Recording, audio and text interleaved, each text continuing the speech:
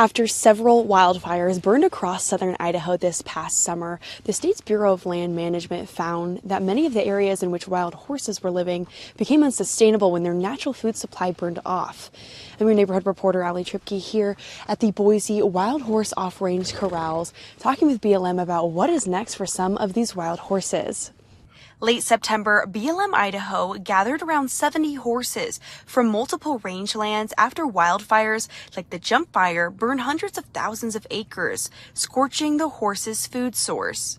The Sands Basin herd was gathered from the mountains beyond Marsing, and the four mile herd was gathered from the area where the paddock fire had burned nearly 200,000 acres north of Emmett. And we're caring for them right now here at the Boise Wild Horse Off Range Corral. Several people came by the corrals Saturday for the public viewing.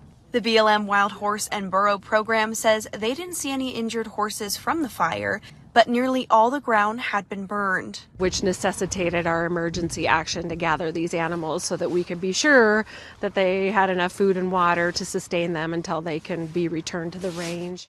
There is no timeline on when the herds will return to their rangelands as they need to wait for the land to be healthy again so it can sustain the population.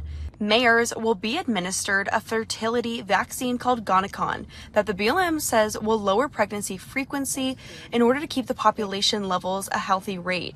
The horses unfit to return to the rangeland may be available for adoption sometime next year. While many of the horses will be returned to the rangeland, some will be up for adoption, and those interested in adopting can follow along on BLM Idaho's Wild Horse and Burro Facebook pages to check out future adoption events. Reporting from the Boise Off Range Wild Horse Corrals, I'm your neighborhood reporter, Ali Tripke for Idaho News 6.